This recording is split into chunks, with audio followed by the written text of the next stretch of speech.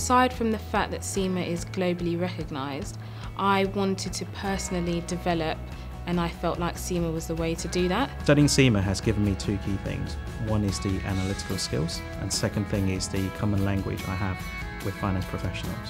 I really needed to make sure that I have the financial knowledge and the accounting principles in my pocket. I want clients to be able to trust me with the work that I do.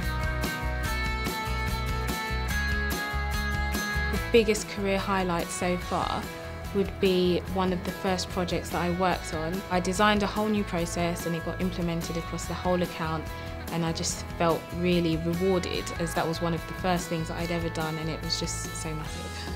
I think the highlight so far has been spending nearly two years working on a, a global transformation program for a major consumer companies and that involved meeting a whole load of people globally from Mexico to China um, to Europe. So it's been a really exciting time for me. I have only been a consultant for a year so far, but I already have a career highlight and it is finding my interest in digital and innovation.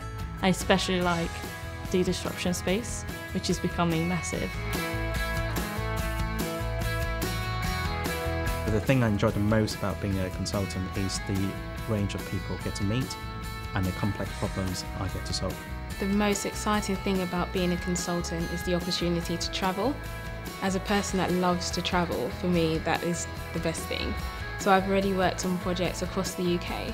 I've been to Amsterdam, I've been to Prague, I've been to Warsaw. What I enjoy most about being a consultant is the variety of projects I get to work on, as well as the frequency of them.